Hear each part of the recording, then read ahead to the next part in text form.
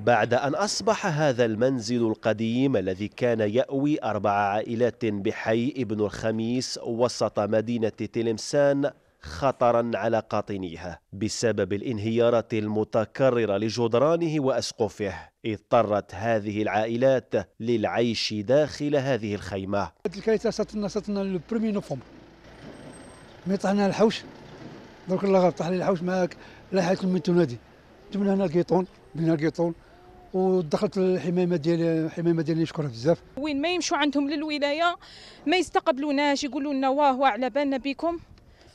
والصبروا هذه وش نزيدوا نصبروا من أكثر منها حنا كون جات عندنا غير بيت غير بيت ولا هذه العيشة تاع الكشفه وكون غير انا بريسانا رانا ببزاوزنا هي أوضاع كارثية تعيشها العائلات الأربعة في العراء منذ الفاتح من نوفمبر الماضي. ها راحنا عايشين كما راك تشوف.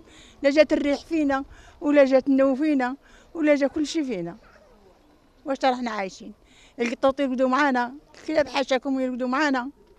ولدي ثلاثة تاع الصباح ينوض يقول لي ماما راني بردان القطنيات هذا يتعصروا. تينا راقد فك السداري والما يفوت تحتك. ناكلوا هنا نطيبوا هنا حالتنا لحالة الدار تاعك ما نجموش ندخلوا لها انتردي صحابي صونا الغاز نحاولنا الضوء أن ما تزيدوش تدخلوا لداخل. هاس نقول لك سيد الوالي لا راك تشوف فينا عاونا عاونا الناس راقدين متغطين سخونين وحنا برا هنا في الزنقة. الريح تاع البارح لا لا يشوفك. طالت المدة فزادت المعاناة والعائلات تقول هل من مسؤول يتفقد أحوالنا.